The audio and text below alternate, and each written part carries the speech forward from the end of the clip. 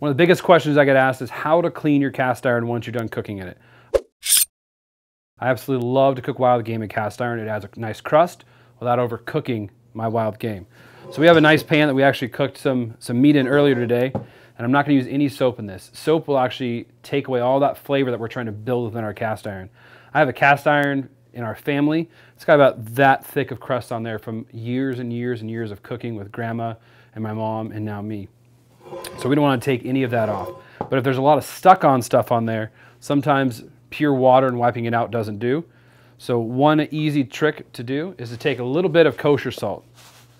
Kosher salt's going to act as a scrubbing agent. Grabbing a nice clean towel or paper towel, you're going to take that salt and that little bit of water around the entire cast iron.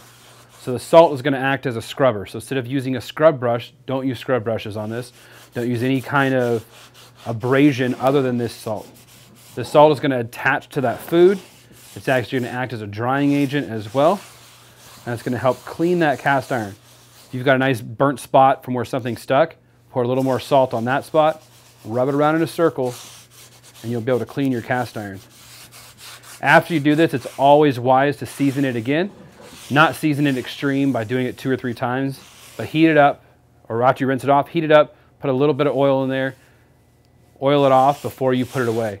You don't want to get any water that's left on there that might leave a little spot of rust, and then you gotta go through the whole process of unseasoning your cast iron. Always, always, always, after you clean your cast iron, put a little bit of oil on it just to keep it safe.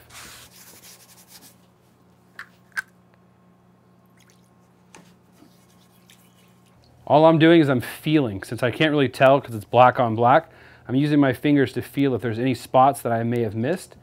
And if I did miss it, I can go back in there and scrub that spot until it's clean. I'm gonna go rinse this out in the sink with hot, hot water, no soap, and I'll be right back to show you what it looks like. All right, now that we rinsed it out, we can see there's no spots left on it. There's still a little bit of water, and again, water is bad. So what we're gonna do is we're gonna take that back to the hot fire. We're gonna heat that up, all that water to go away. Then we're gonna add that oil, and it's ready to hang up and store.